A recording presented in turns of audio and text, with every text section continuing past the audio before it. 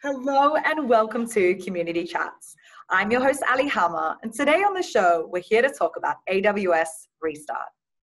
With over 1 million people predicted to be unemployed in Australia in 2020, according to the Australian Bureau of Statistics, it is more important now than ever for local industries to work together to help people transition into new careers. The AWS Restart program helps people reskill and launch a career into the cloud. AWS Restart is a full-time skills development and training program that helps individuals be prepared for careers in the cloud and then connects them to potential employers.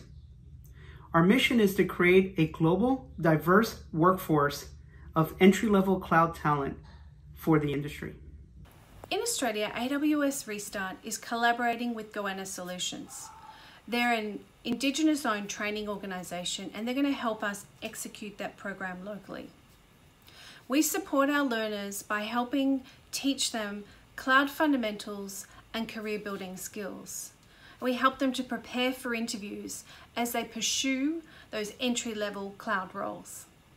I started my career as an internal auditor and have always loved it, but I've had no career progression in the last 10 years.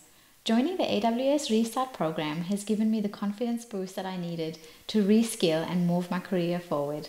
The program focuses on supporting unemployed and underemployed populations and individuals who would not normally have an option for this career path.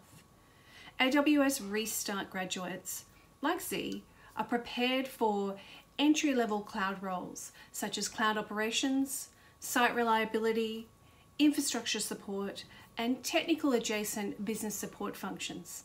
To learn more about the program and connect with skilled entry level cloud talent, I encourage you to go and visit the AWS Restart website.